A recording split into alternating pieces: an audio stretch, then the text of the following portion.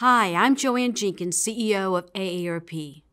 As coronavirus vaccines are distributed across the country, we know that the large majority of Americans 50 and older are eager to get vaccinated.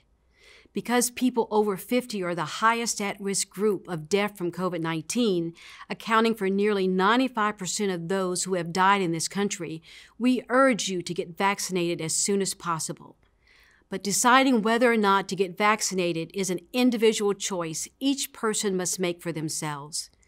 AARP wants to make sure that everyone who wants a vaccination can get one. But we've heard from so many of you that you aren't getting the clear information you need to make your own decision.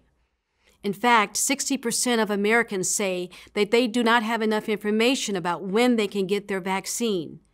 And 6 in 10 Black and Hispanic adults say they don't have enough information about where to get the vaccine. We know you're frustrated. You want to know when, where, and how to get your shot, and some of you may need additional assistance in signing up. That's why AARP is stepping in to cut through the confusion and to share details you need to make your own decision. Our team is gathering information in every state and updating these facts often because distribution is changing rapidly. AARP fought to make sure that the vaccines are free for all Americans. We advocated to prioritize older Americans, and we'll keep fighting to make sure you have the facts that you need. There is no time to waste. Together, let's defeat this virus.